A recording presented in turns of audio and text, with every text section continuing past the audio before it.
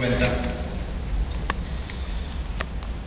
En el 79 justamente mis mayores, encabezados por Faki, Rosa, Sargento, Ángela, Teresa y, y Marcelina, hicieron un derecho de posesión territorial que se levantó los alambrados que de los terratenientes que tenían sobre nuestra comunidad. En ese momento andaban mis hermanos frente a la lucha entre 18 y 19 años. El furor que se tiene en los 18 y 19, un poquito más adelante, hasta los 30, los 31, 32, siempre uno va con todas esas cuestiones de ganas, de fuerza, ¿no? fuerza joven que, hay que llevarse al mundo por delante.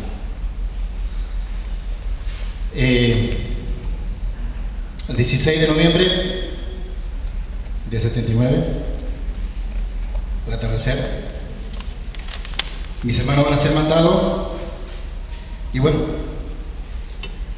nunca más supimos de ello. Nosotros después costó muchísimo porque eh, mi familia no quiso hablar por muchos años. Mi madre todavía hoy en día, a pesar de la situación, se le hace difícil hablar del tema. Eh, entonces, como uno es más andariego en este tema, me puse al frente a decir, a investigar.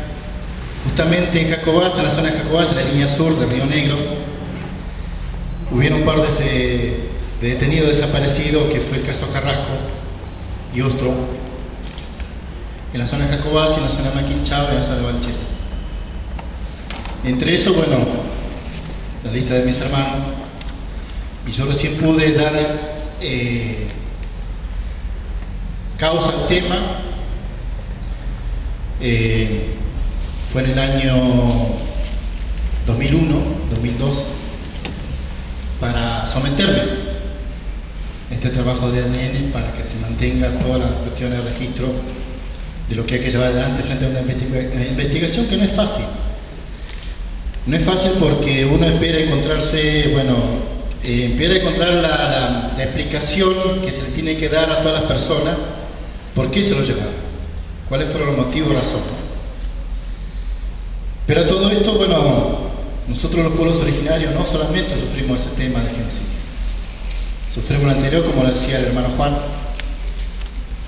en las conquistas del desierto, la famosa campaña del desierto, bueno, hubieron más de 300 mapuches desaparecidos, 300 mil mapuches desaparecidos. Y muchos de ellos están hoy en sus, sus restos, su, su cabeza, su cuerpo están como trofeo en el museo.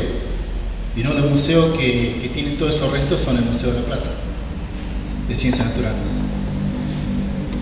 Fíjense, eh, amigos y amigas, qué cruel es,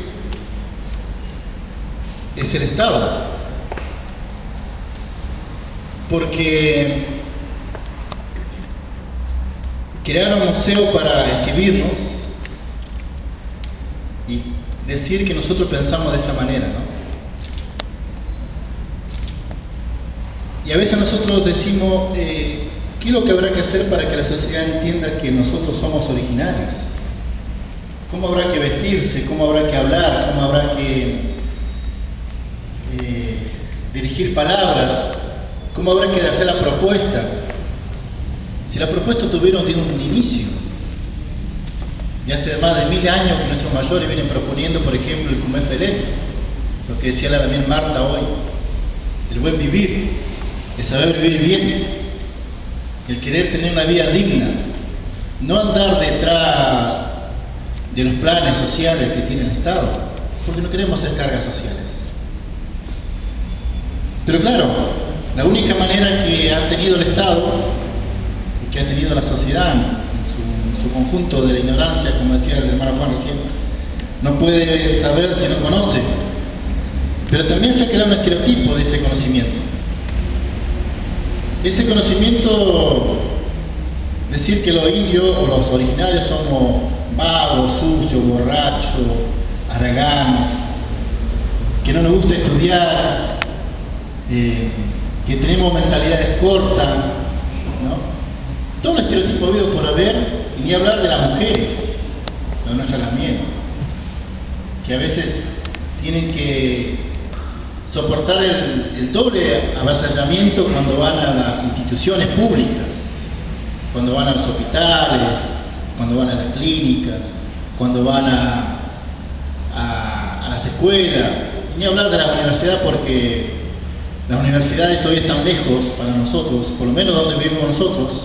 Tenemos Universidad de Bariloche, que tenemos que hacer 250 kilómetros, el Bolsón.